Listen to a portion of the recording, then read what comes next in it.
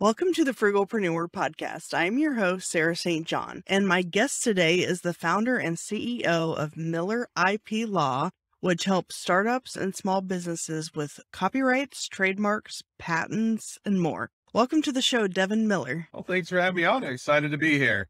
Well, can you give the audience a little uh, of your background history and how you got into this field? Sure. And it's always the simplest questions to get the longest answers. So I'll try and keep my background history a bit more concise. But yeah, so a bit about myself. So I've been doing intellectual property, patents, trademarks, copyrights, other uh, business related stuff for about nine years. So I've been attorney for about nine years, but probably backing up just a bit before that. So I got ended up getting four degrees, which my wife always jokes is three degrees too many. I got a undergraduate. I went and got an electrical engineering degree as well as a Chinese degree in Mandarin Chinese. And then when I went to graduate, I kind of had two passions. I loved business, kind of being an entrepreneur and startups. So we saw that was very fun and exciting. I also thought the legal aspect of the law was kind of fun and exciting. So as I was graduating, I was really trying to decide what I wanted to do. And rather than do one or the other, I decided to both. So I ended up getting both a law degree as well as an MBA degree, Master's of Business Administration, and kind of have taken that as the, the path throughout my whole career. So I started a few businesses, started one while I was doing law school and MBA school and started a few sands.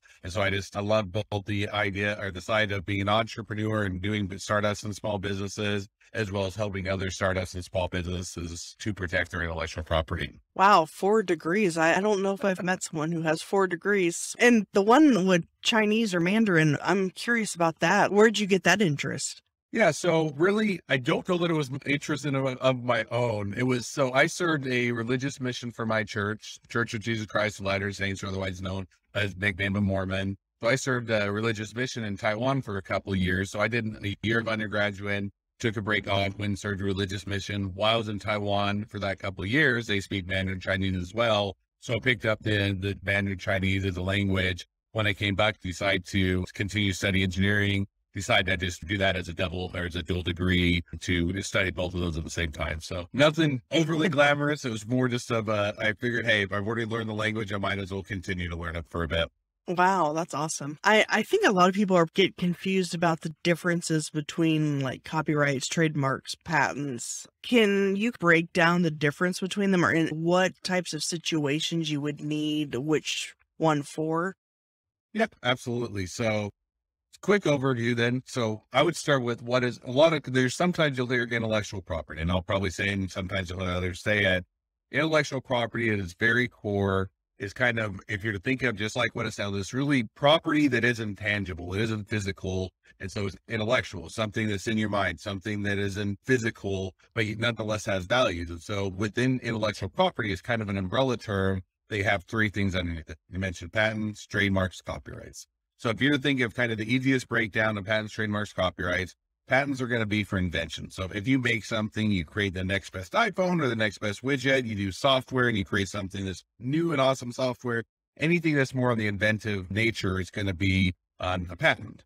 Trademarks are going to go more towards a brand. So if you're to think of the name of the company, name of a product, the logo, a catchphrase, anything of that nature, anything that's really associated with the brand falls under trademarks. And then the last one is on copyrights. And copyrights are going to be more on the creative side. So you think of, you know, if you're doing something that's kind of creative and a creative work, so a book, a movie, a podcast, a sculpture, a painting, a photo, you know, photograph, anything that kind of has that creative nature to it, that's what you protect with copyright. So which one you need is depending on what your business is doing. And sometimes you have multiple things. Hey, I'm creating a brand. I'm also creating a product. You may do both a patent and a trademark or I'm writing the next best book or next best book series, whether it's John Clancy or Harry Potter or Lord of the Rings or whatever your favorite book is. But if you're doing that, then it's, you know, in their copyrights and also going to have some branding with trademarks. So that's kind of how you start to break those up. And so basically they all protect from someone else using or creating something using the same name, if it's a trademark or claiming ownership yeah, I mean, to a book or. Yeah, there's kind of two reasons why you get any of them. One is, is it more of a defensive and or offensive, but really going after or protecting somebody from taking your hard work. And that can be, hey, if I put a whole bunch of R&D, research and development into creating an awesome new product, I don't want somebody to copy it, ride my coattails, and then I don't make the money from it. Same thing with the brand. Same thing with copy, you know, write the next best book. You don't want someone just copying that, selling it as if they were you. And so one of that is going to be more on the protecting, you know, what you've done. The other one I always look at is also more of an asset. In other words, you know, there is, if you to think of great brands or products, but let's say Apple or Nike or Amazon or Starbucks or, you know, M&M's or whatever, they have a great brand. Some of them like Apple have a great product. And so it's also an asset that they're saying, not only does it for protection, but now we actually say we own this brand. It's investable. It's licensed. You know, I think of Disney, they license a whole bunch of their brand to other people. So it's not just for defensive purposes, but it's also an asset of the company that you can use to create real value. And I've heard, and I don't know if this is true, so I'm curious, like when you write a book, for example, or a song or a Mhm. poem or something like that, that just writing it gives you an automatic copyright. Is that true? Yeah. So that would be the one exception. Patents and trademarks are not that way. In other words, with a little bit of an exception for trademarks, really, unless you file for them, unless you protect or file and, and get them registered and, and protect that way, there isn't a lot of protection there. Copyrights, you do by putting it at a tangible meaning. In other words, you can't keep it in your head. It's not copyrightable. But if you take the photo, you write the book, you take the, you know, film the movie or whatever, you do have some inherent rights. You have ownership to what you've created. Now, if you ever go to enforcing, you're still realistically still going to have to register it. And because one, you'll be to force in court to get really any compensation or damages, it has to be registered. And two, a lot of times the reason that you'll you'll still register it even though you already have some of those inherent rights is to get a demarcation. Hey, at least by this date, I took the photo, I wrote the book, I took the film. And so you're not having a question of who created it first. Did somebody else do it first? Somebody else not do it first. So there are inherent rights by just creating it. You do have ownership to it. If you're really wanting to have the, the full protection and make sure everything's in place, you'd still get it registered. Okay. And then another thing I've wondered about fair use. Mm. Like if I'm doing a blog post about a particular software that I use and recommend, and I put their logo in the blog post so that it's recognizable and, and it kind of sparks attraction or versus just the word. Like to have the logo, I think is more appealing. Mm. But would that be, I mean, because I'm sure the logo might be trademarked or whatever.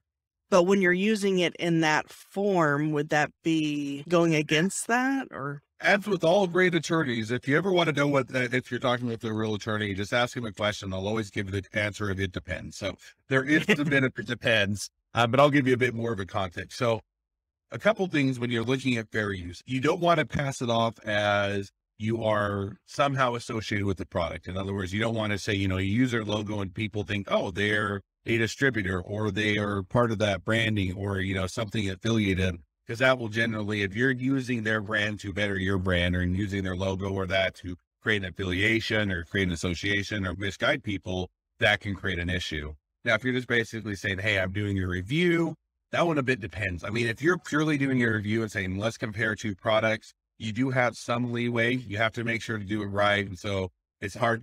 It's probably a harder one to get into on the full show, but you do have some ability or leeway to within fair use to do a product comparison or to show something side by side.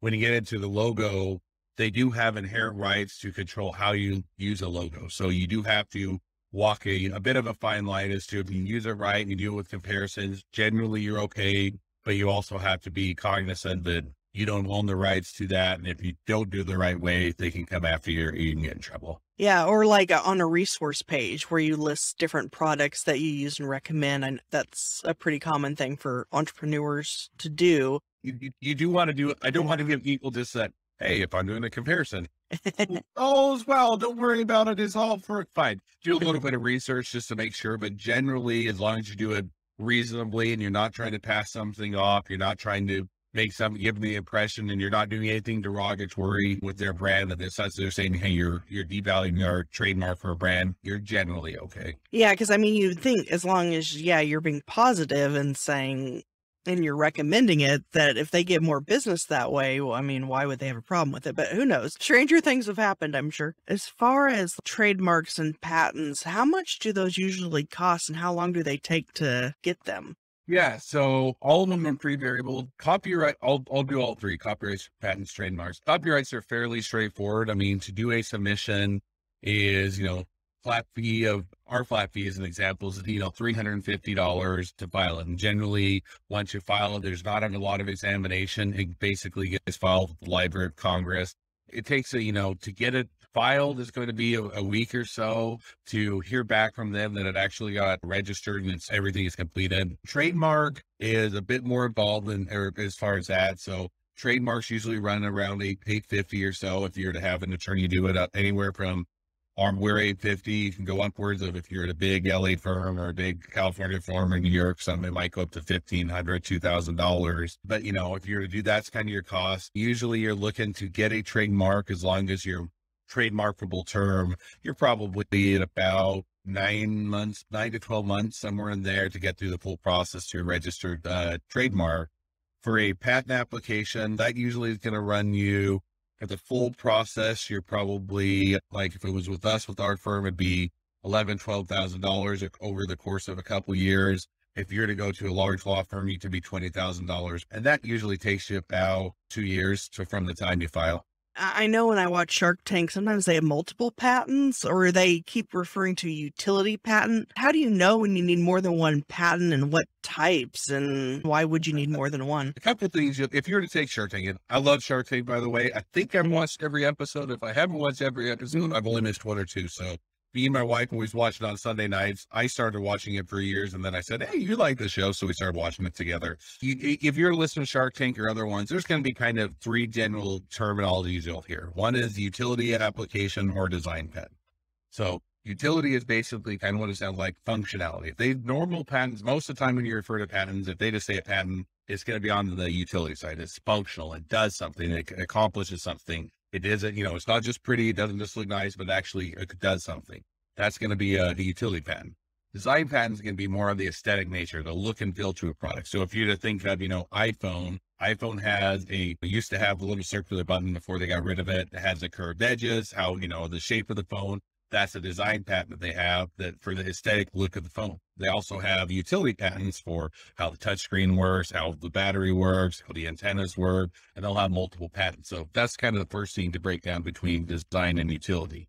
Now within utility, the other thing you'll hear, and sometimes on Shark Tank as well, is they'll have the difference between what they'll say is a provisional and a non-provisional or full patent application. Provisional is basically a less expensive one year placeholder application, doesn't have all the formalities, hasn't been examined at all, but you're kind of saying, I have filed this, I'm patent pending. I have a year to decide whether or not I want to actually do a full patent or not, and I'll save my place in line. That's what a, a provisional is. And then a non provisional is going to be a full patent application. So that one kind of has gone through, will go through the mm-hmm. full process. Yes. How do I know if I need one or both? And that really is going to vary based on the business. If you're really more of a aesthetic nature, of look and feel of something. You may just need design patents. If you're got something that has both a cool look to it as well as a utility, you may need both.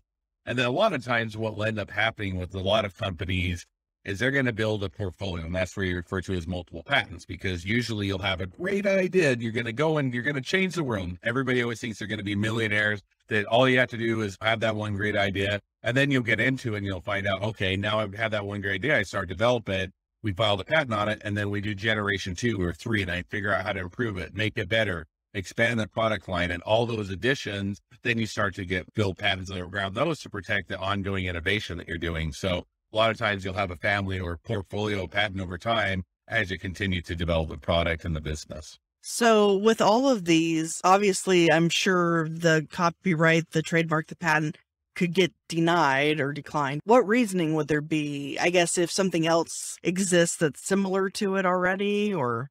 Yeah. So copyrights usually don't get denied unless you mess something up with the filing. The only reason you typically get denied with the copyright is if you copied someone or you stole it from them or you, you didn't otherwise create it yourself. That's the only typically the reason you wouldn't get a copyright. There are other exceptions to the rule, but that's generally what we'd worry about. Trademarks are going to be so if you file a trademark, they're going to look at it, they're going to examine it for trademarkability. Their standard is basically going to be is it confusingly similar with any trademarks that are already out there? What does confusingly similar mean? Well, means with somebody that you know, a customer that's out there, would they see your brand and where they see somebody else's brand and think it's the same company or not know who is selling what goods or think you know somehow they're intertwined? And if that's the case, then you can't get a trademark for something that somebody else already owns because it will confuse the customer. So that's generally why you're going to get a trademark rejection. The other reason you'll a lot of times get a trademark rejection if it's what's called merely descriptive. So give you an example. If you wanted to go start a fruit stand, You wanted to sell the world's best apples. You you have the best apples in the world, and so you go to sell them, and then you say, you know what would be a really good name for my fruit stand? Let's name it Apple. Well, everybody refers to the fruit apples as apples, and so just by its nature, it's not really identifying your business or what you're doing. It's just describing what you're selling, and everybody uses that terminology. So you can't get a trademark on a well-used term for what the product or the service you're providing. Now, if you want to go sell consumer goods and you want to sell smartphones and the computers and that, and you want to name your work or your company Apple, by all means, because it has nothing to do with what you're selling or the services you're providing. So those are kind of the two reasons. Confusingly similar with what somebody else's trademark that's already out there, or you're merely descriptive. Last one is patents. Patents, you're going to have kind of a couple different criteria that you're going to consider for when they're looking as to whether or not you should be issued a patent. One is called novelty. The other one is called obviousness. Novelty is basically, has anybody else previously invented this? Somebody else has already previously invented this. You can't get a patent on something that's already been invented.